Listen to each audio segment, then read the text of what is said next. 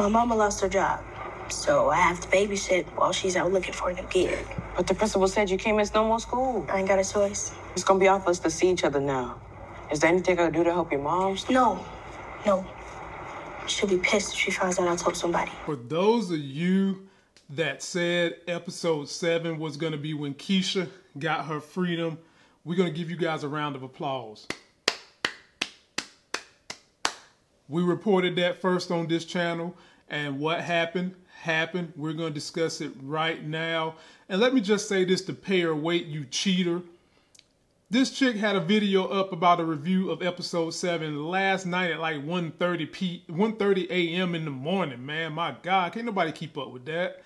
This is going to be my episode 7 Chi season 3 review. Top 5 WTF moments and storylines. Let's jump into it. If you're finding me for the first time, please subscribe to the channel. Be sure to turn on notifications so when I drop videos, you get them. Follow me live tomorrow night. I'll be going live with Larry and Sharonda from Pair Weight to recap episode 7 of The Chi. And we're going to also recap P Valley, episode 4. That was going to be good. My number 4 WTF moment. Maisha mom loses her job. She tells Papa and doesn't want Papa to tell anybody else. Well, you know, Papa's a caring dude. He's going to tell it. The big reveal from this was initially I was under the assumption his daddy was somewhat crooked. And turns out, ladies and gentlemen, his dad is a role model. However, the dad know that that was dirty money he took from Camille. Even though he knows that's dirty money, he's not doing anything dirty with the money. He is giving the money to Maisha's mom who lost her job after Papa gave a compelling speech. I mean, Papa went in there and said, I've got all my needs taken care of. What are we going to do with this money? Not only does he give up the money, but he goes to Maisha's mom's house to hand deliver the money, give her a word of God. And even though she didn't want the money, which sometimes black folks, you got to swallow that pride. Everybody at some point in time in their life needs help. And it ain't no point in you being prideful about getting a little help. Think about how this country was built. This country got help from African Americans, even though it was forced help. But she took the help, and he was going to leave the money there whether she wanted it or not. And I just say, you know what? He is a good he's a good guy, and I'm glad Maisha didn't catch some crazy attitude with Papa because he was trying to help. My number four WTF moment, it involved Emmett's mom and Rico Suave. And y'all know I've been after him since before this season started. Okay. So, you know, he about to smash with Emmett's mom. They go in the house and, you know, Emmett and Tiff is there. And the mom's just like, what the hell y'all doing here? Well, for one, whenever you have someone in your home that you're leaving in there to do what they want to do, you can't never tell when they're home and when they're not. Just because you expect them to be gone doesn't mean that they're going to be gone. So they're in there. She's hot because you know her little panties is soaking wet because she want Rico Suave to get all up in there. And though she has a little issue with them being in there, Rico Suave and her go back outside. This was the most telling issue of this story because I'm telling y'all, you cannot trust Rico Suave. He is riding her back about getting those kids out the house. Now, granted, what he's saying is right. He's not the right messenger. Hell, you only known this woman a month and a half and you already trying to get the kids out the house? What are your motives? The way he was adamant about her getting those kids out the house tells me, do you need somewhere to live? Are you trying to plant your roots in her crib? What do you want, Rico Suave? I don't know what he wants. I guess we'll find out over the course of this season into next season, but I don't trust Rico Suave. Number three WTF moment involves Emmett and Dom. And at the end, Emmett and Dom smashed. After last week, Emmett just told Tiff he didn't want nobody else. And the storyline with them was, uh-oh, hold on. Sorry about that. Y'all know we got that newborn in here. But anyway, Emmett and Dom smashed. And not only did they smash, they got excited because we learned Little Rel really owns not only the building, but he owns the business Sonny is in, and he's just lending Sonny his own name. Sonny is just a cook for him. So Little Rel is gonna kick out Sonny, let Dom and Emmett take over for a couple of months to see how things go. And from that, you know, they drinking a little wine, they feeling good, and she basically offered him some pity pussy. However, it turns into I'm to smash you without a condom. Ladies and gentlemen, there are so many issues that might go wrong with this. We already know Emmett got like 4,900 kids running around on the street. And you smash this woman in the restaurant on the table without a condom. I don't see how this is good. This could be the way they're going to keep Lala's character on the show for seasons to come because she could be that crazy baby mama if they have kids.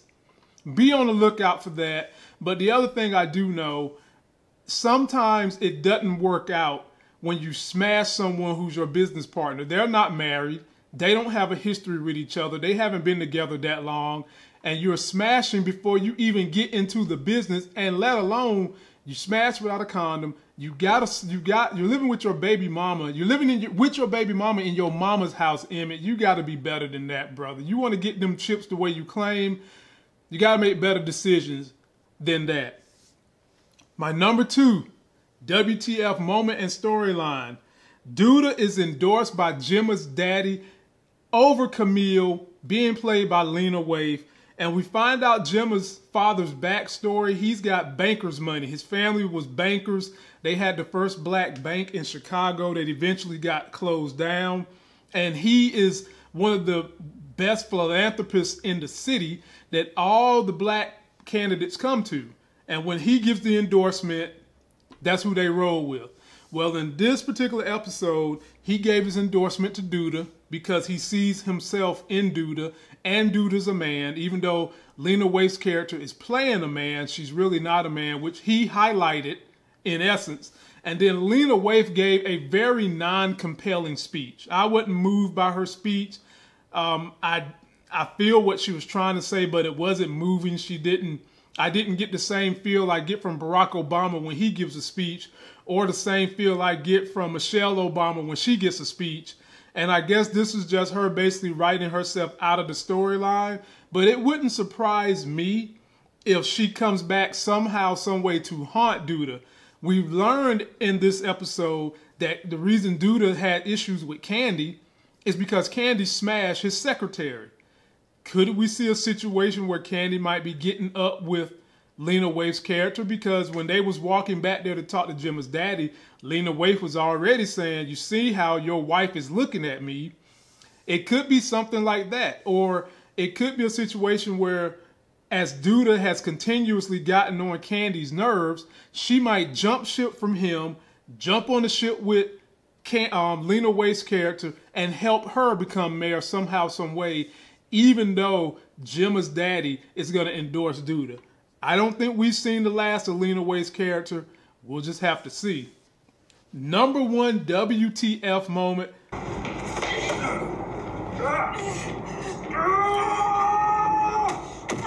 I took care of you.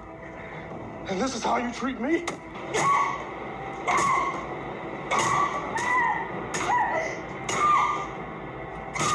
Of course, Keisha getting her freedom thanks in part to Ronnie. But I just got to say this about Ronnie. Ronnie, if you're going to be a black superhero, yes, we're happy that you found Keisha and you got the door open. But you can't get your ass beat, man. You can't get hit on the head and be on the ground. Bro, you've got to literally hit homeboy, get her out of there, and then get your black superhero music playing behind you in the background. Nonetheless, he did figure out where she was at, got the door open, and I was about to get mad at Keisha because in the very beginning, when Homeboy jumped in there, she had an opportunity she could have ran out the door. But she decided to jump on his back, scratch his eyes. I don't necessarily think she done that to help Ronnie as much as she was angry. In the end, she picked up that crowbar and she went to town on brother at first and earlier in the episode, we was mad when she had that chair stick and she hit him and ain't do nothing. It was like, you can't hit harder than that. But hey, she got him good and he just took it. But in this particular scene, She went to town with the crowbar, and then the very last hit, I heard splattering of blood. I heard gashing of skin. I think she got him good and she might have killed him. But what I want to say to Chicago PD, don't be coming for this girl. She was trying to get her freedom. We know how y'all behave when there's some black folks involved sometimes. Y'all will be trying to say she ain't had to kill him. This man held her captive for two months. She seen an opportunity to get out of there, and she done better this time. So, you know, Keisha redeemed herself on that. Her and Ronnie both wound up at the hospital.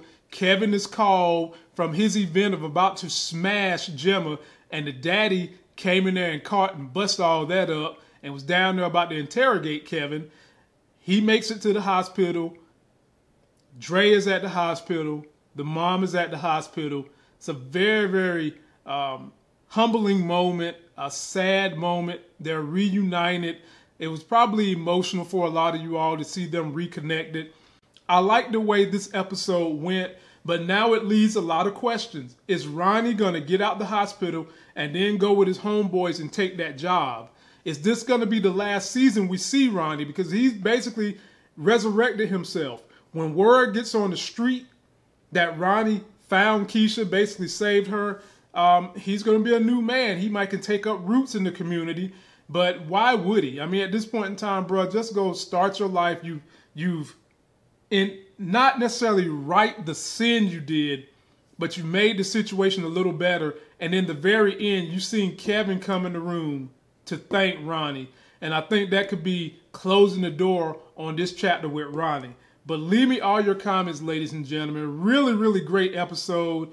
Now we're going to have to deal with Keisha and whatever mental issues she's going to have. That poor girl. She's played the hell out of her role. So has her mom. Her mom has really played the hell out the role this season. Um, what are we going to talk about for the last two episodes? We'll have to come up with something, and you know we'll keep you guys posted. That's going to do it for this video. Don't forget to like the video, comment, subscribe, get yourself that life gain. Follow me, Larry, and Sharonda from Para Wait as we go live Monday night. Me and Larry go live every Monday, Wednesday, and Friday night. And on Wednesdays and Fridays, we do talk about movies and TV shows. We do Marvel, and we're going to start taking phone calls for stocks. So people that want to call in, talk a little bit about the stocks and things they're investing in. We're going to start taking phone calls for that on Wednesday. So tune in.